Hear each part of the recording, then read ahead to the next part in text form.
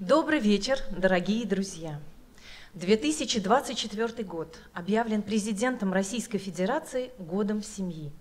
Это важное событие для нашей страны. Это еще один шаг на пути к сохранению традиционных семейных ценностей – любви, верности, уважения, взаимопонимания и поддержки. Они являются основой крепкой и счастливой семьи. А крепкая семья – это залог стабильности и процветания всего общества. Именно семья занимает особое место в жизни наших студентов, в формировании их личностных качеств и творческого пути.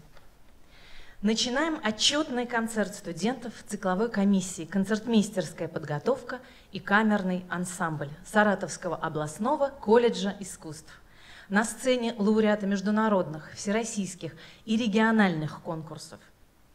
Макс Брух, трио для фортепиано, скрипки и виолончели, опус 5, до минор, третья часть. Исполняют стипендиат губернатора Саратовской области, студентка четвертого курса Мария Беляева, фортепиано, Данила Яньков, скрипка, Елена Ларионовичева, виолончель, класс преподавателя – Тамара Сергеевна Данчук. А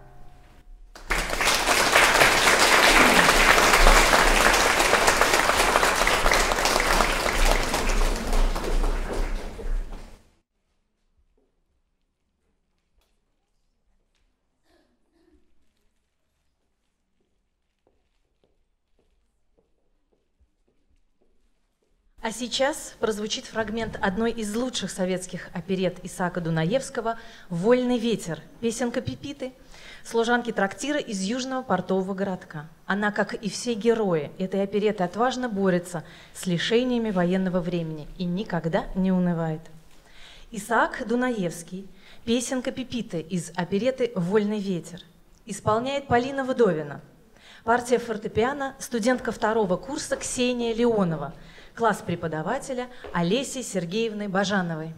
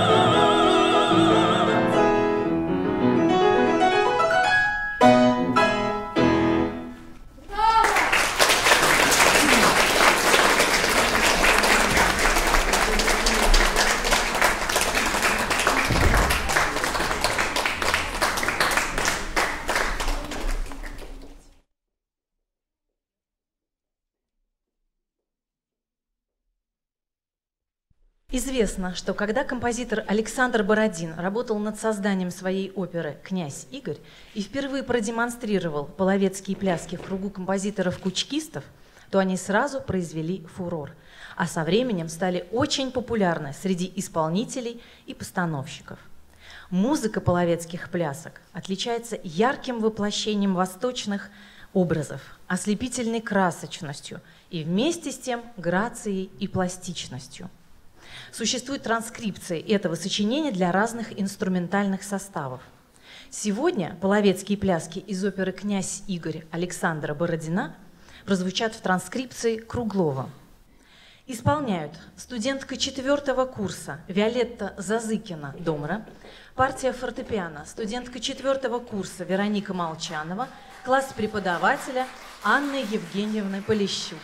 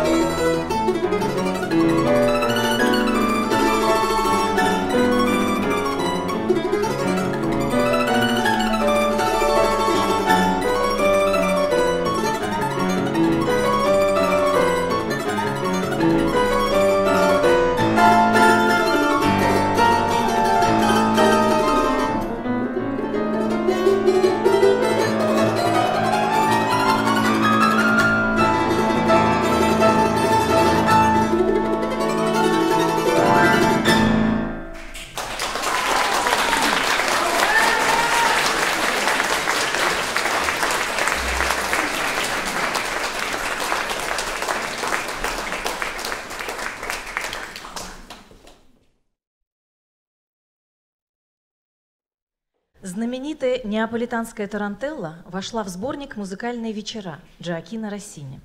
Издание этой музыки очень обрадовало почитателей творчества композитора. Все дело в том, что 37-летний Россини, находившийся на вершине славы, неожиданно для всех решил прекратить творческую деятельность. И когда шесть лет спустя парижский издатель опубликовал сборник из восьми ариет и четырех дуэтов под названием «Музыкальные вечера», слушатели обрадовались возвращению композитора. Произведения сразу завоевали успех и породили различные обработки. Все номера музыкальных вечеров написаны на итальянские тексты и объединены общим настроением, ощущением радости жизни, присущим стилю Россини. Несколько номеров представляют собой танцы – болеро, тарантелла, застольные в ритме вальса. Джоакино Россини, стихи Пиполли, неаполитанская тарантелла. Исполняет Максим Корниец. Партия фортепиано, студентка второго курса Софья Царева. Класс заслуженного учителя России Ларисы Владимировны Фроловой.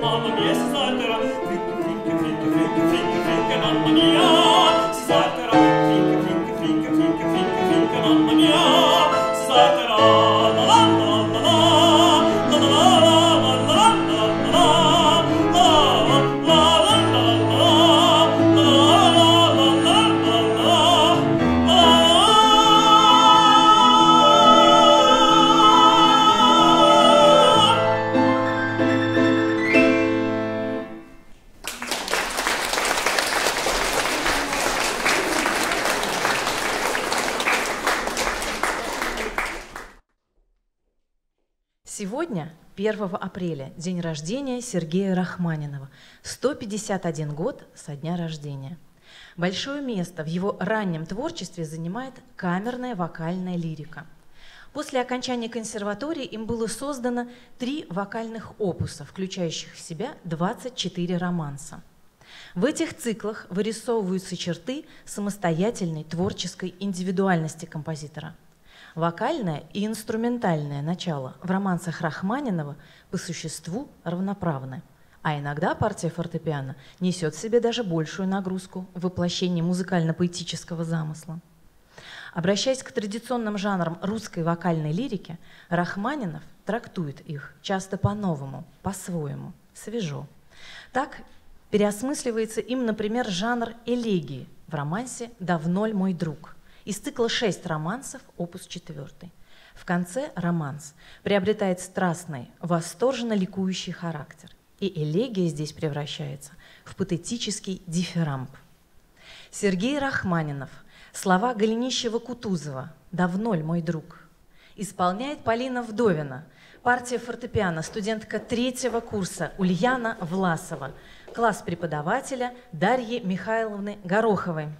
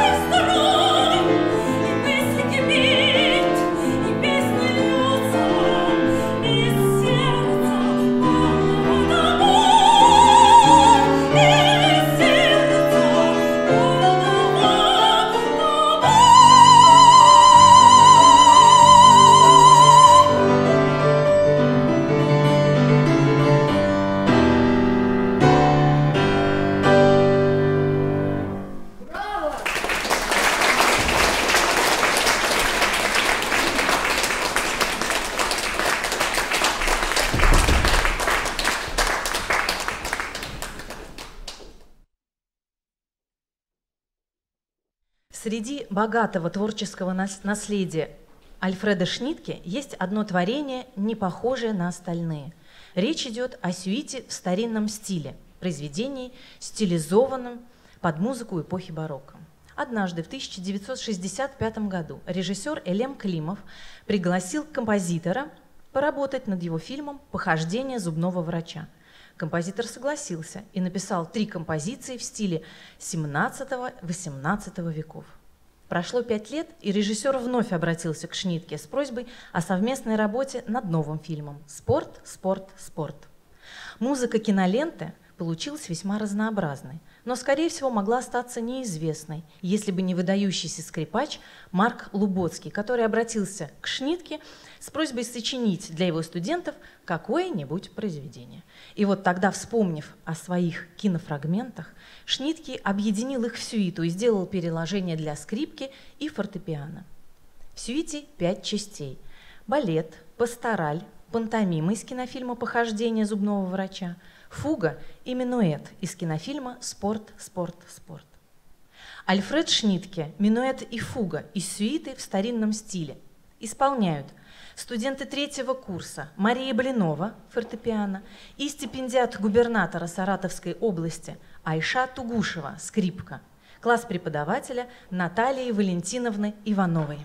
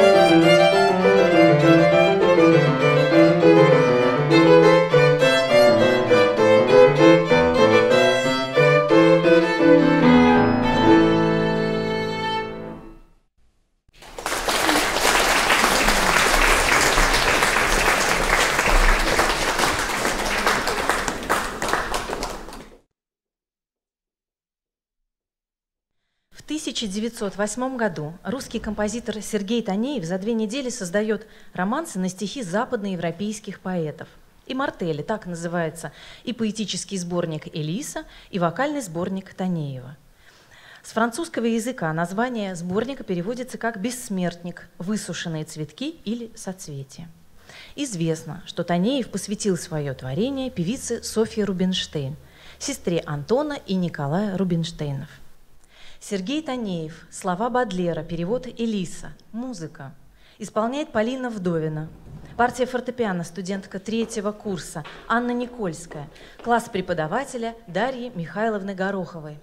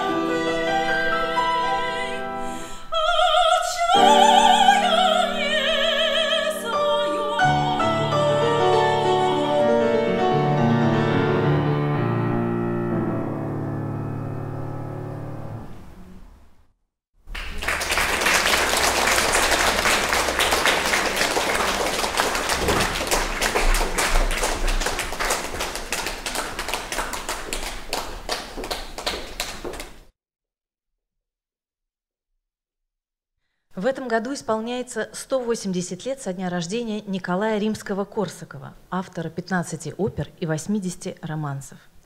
Содержание вокальной лирики Римского-Корсакова – элегичность, любовные чувства, образы природы, Востока, размышления об искусстве. В 90-е годы были созданы романсы, в которых проявились новые стилистические черты – углубление лирико-психологической проблематики, стремление к большей мелодичности. В это время римский Корсаков пишет на стихи только Александра Пушкина, Алексея Толстого и Аполлона Майкова. Николай Римский-Корсаков. Слова Александра Пушкина. «Редеет облаков летучая гряда». Исполняет Максим Корниец. Партия фортепиано, студентка четвертого курса Анастасия Романовская, класс преподавателя Ларисы Владимировны Фроловой.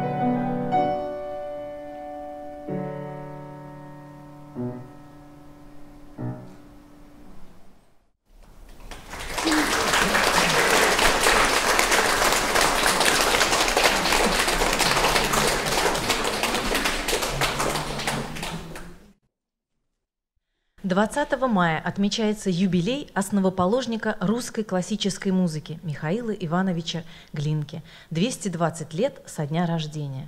Глинка органично связал достижения западноевропейского музыкального искусства с русской народной песенностью. Его произведения проникнуты идеями патриотизма, добра и справедливости. Идеалом красоты для него всегда была народная песня. В операх Иван Сусанин и Руслан и Людмила широко представлены образы лирических героинь – Антониды, Людмилы, Гориславы. Наш концерт – продолжает ария Гориславы из оперы «Руслан и Людмила» Михаила Ивановича Глинки. Исполняет Полина Вдовина. Партия фортепиано студентка четвертого курса Анастасия Соловьева. Класс преподавателя Олеси Сергеевны Бажановой.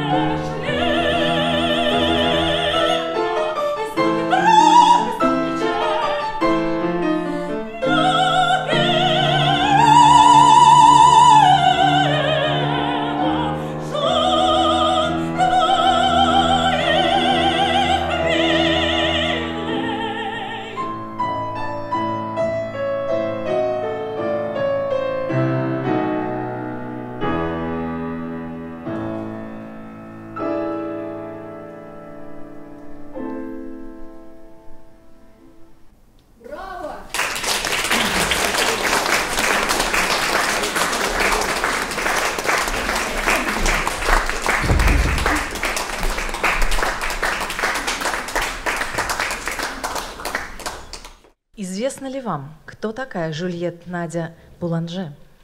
А это французский композитор-педагог 20 века. На заре своей карьеры она активно концертировала как пианистка. По словам современников, она могла заставить фортепиано звучать разнообразно и многотемброво. Среди ее учеников были Леонард Бернстайн, Джордж Гершвин, Мишель Легран и Астер Пьецоло. Надя Буланже, пьеса, исполняет Влада Чуприянова, партия фортепиано, студентка четвертого курса Дарина Романова, класс преподавателя Ларисы Владимировны Фроловой. Русский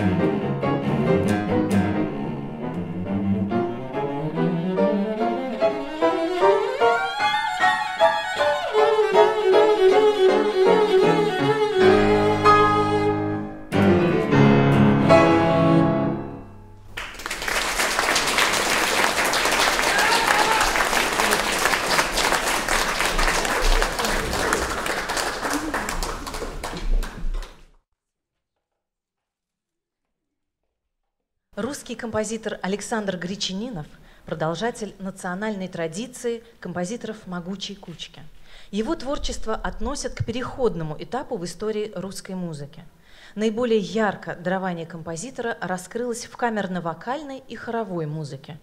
Его романсы, написанные на стихи русских поэтов Пушкина, Лермонтова, Тютчева, Блока, Бальмонта, Брюсова – привлекают мягкой лирической напевностью, чутким преломлением народно-песенных элементов, поэтической пейзажностью. Александр Гречининов, слова Алексея Толстого «На нивы желтые» исполняет Полина Вдовина. Партия фортепиано студентка третьего курса Мария Блинова. Класс преподавателя Олеси Сергеевны Бажановой.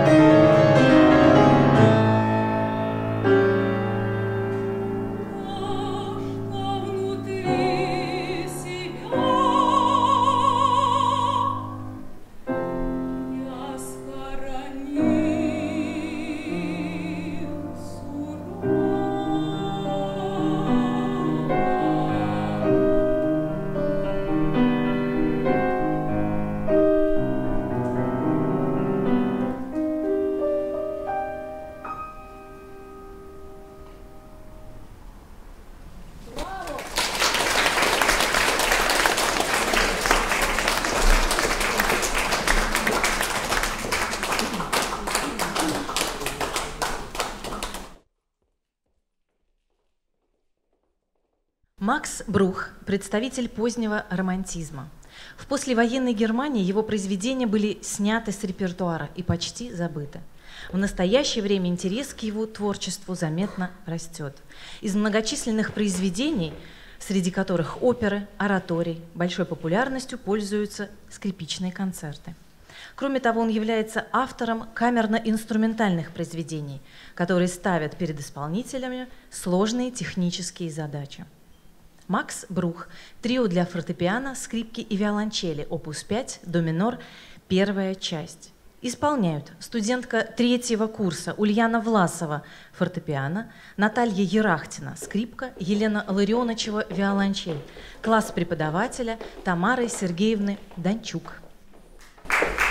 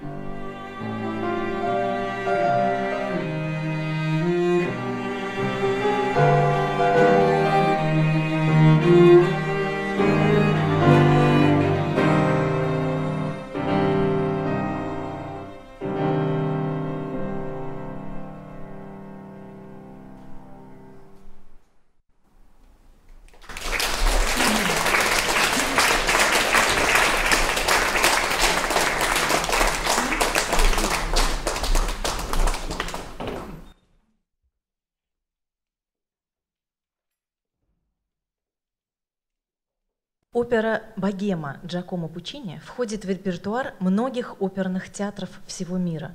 В этом произведении изображена жизнь талантливых, но бедных молодых артистов, поэтов, художников, музыкантов, населяющих латинский квартал Парижа. Музыка богемы насыщена напевной, волнующей мелодикой. Выразительность пения оттеняется красочным разнообразием, темпераментной порывистостью оркестровой партии. Джакомо Пучини, вальс Мюзетты из оперы «Богема», исполняет Полина Вдовина, партия фортепиано, студентка четвертого курса Эмилия Сдор, класс преподавателя Дарьи Михайловны Гороховой –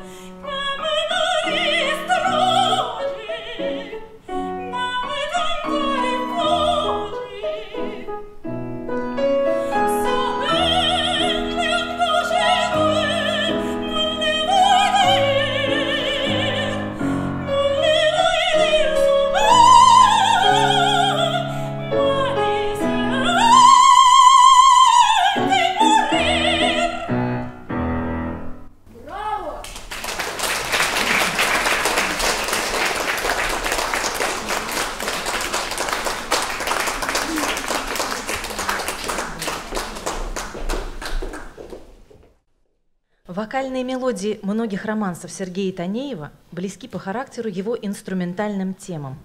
Композитор передавал мелодиям особую выразительность и индивидуальность. Сергей Танеев, слова Николая Некрасова «Бьется сердце беспокойное».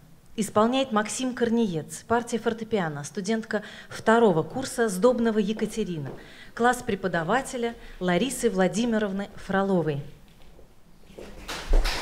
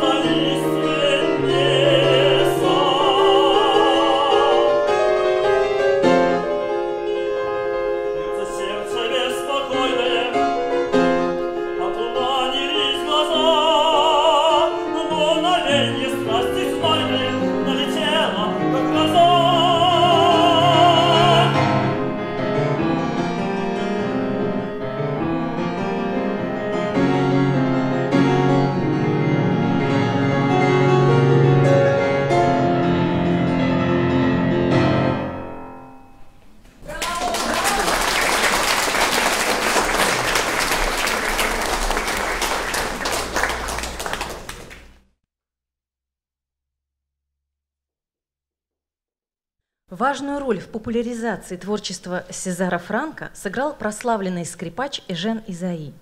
Именно ему Франк посвятил свою единственную скрипичную сонату, в которой сочетаются черты эпохи барокко и позднеромантического стиля. Рукопись сонаты для скрипки и фортепиано «Ля мажор» была преподнесена скрипачу как подарок к свадьбе. Музыкант был тронут таким даром – «Этот подарок не мне одному, а всему миру», — говорил он. Сезар Франк, соната для скрипки и фортепиано «Ля мажор», четвертая часть. Исполняют стипендиат губернатора Саратовской области, студентка третьего курса Юлия Суликова, скрипка, и студентка четвертого курса Анастасия Романовская, фортепиано. Класс преподавателя Тамары Сергеевны Данчук. Один